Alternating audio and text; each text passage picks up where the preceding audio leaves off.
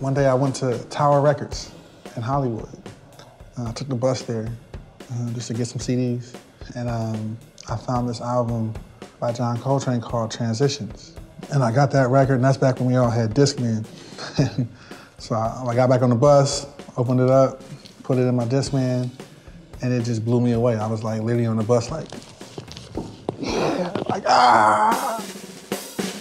Give me a second to warm up.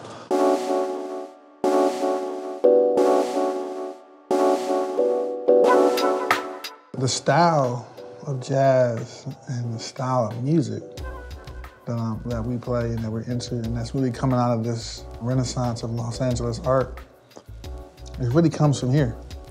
This area was not, this area is here, it wasn't about money, it was about love, you know, and togetherness. The first venue that gave us like a gig was the World Stage.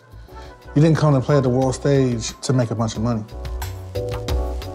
Leimert Park is like it's like a village, you know, and they, they really supported us. They really like nurtured us as young kids, you know, because there was so much negative imagery around about us, and everyone thought we were dangerous, thugs, and this and that. But they looked at us like we were little heroes, and, and they loved the fact that we played music and that we were part of our our lineage and our culture.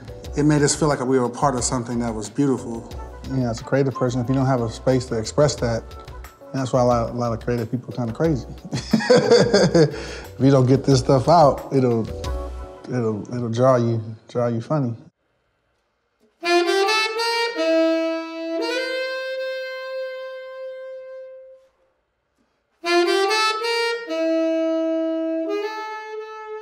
I think just like the world keeps turning, as a musician or as an artist, you have to keep growing, you have to keep changing. You know, you can get caught up in trying to be successful, and in that, you start doing what you think you're supposed to do instead of doing what you feel.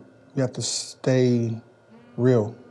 When you learn that art shares life with other people without you even telling them, like I don't necessarily tell you what I think about the world. I can just play, and how I think and how I feel, like how I understand things, will just impress upon you. Same way like when John Coltrane's music did to me. I felt like John Coltrane played to the edge of his spirit, of his being he was pouring out the whole bucket. Every every solo was like, it's empty.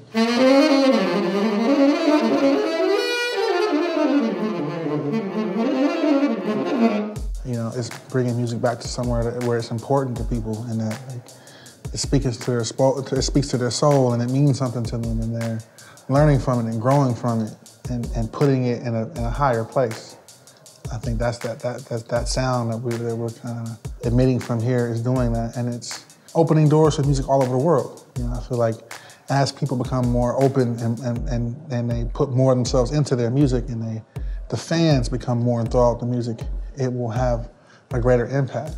And music is so powerful that as that happens, I think we'll see like you know kind of like it was in the '60s, where music is spearheading a lot of the movements of society.